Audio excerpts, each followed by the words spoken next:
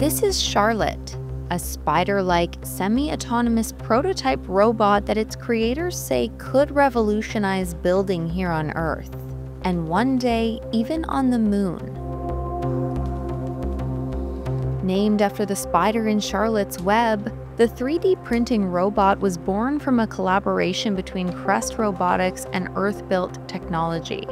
Charlotte is made from a combination of aluminum, carbon fiber, and 3D printed plastics.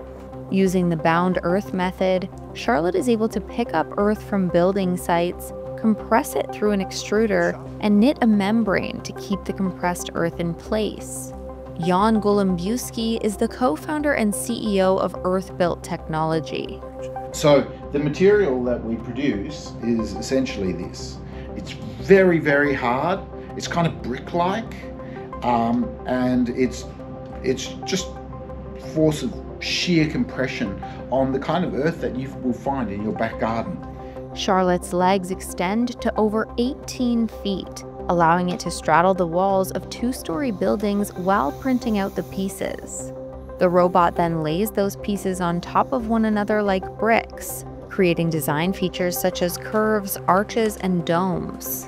The core technology within Charlotte will be a game changer wherever it goes in the world. It will make construction really, really cheap. Like, we're talking about knocking zeros off the end. And it'll also make it carbon free, and in some cases, carbon negative.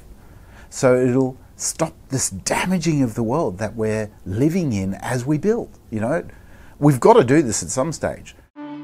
Clyde Webster, founder and CEO of Crest Robotics, says Charlotte's ability to use local materials makes it an ideal candidate for lunar construction, too. Uh, it's actually perfect for construction on the moon because by weight, 99% of the structure can just be the material you find around you. Uh, and for lunar construction, uh, you can't take a lot with you. It's extremely expensive to send stuff to the moon. The team has already received a grant from the New South Wales state government's Space Plus program. They say the next step will be finding partners who are willing to integrate Charlotte into their construction projects. It opens up the pathway for everybody. This thing does not have the limitations that humans have.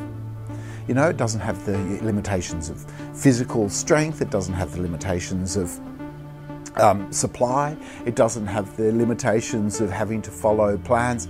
You download the plans and it will print.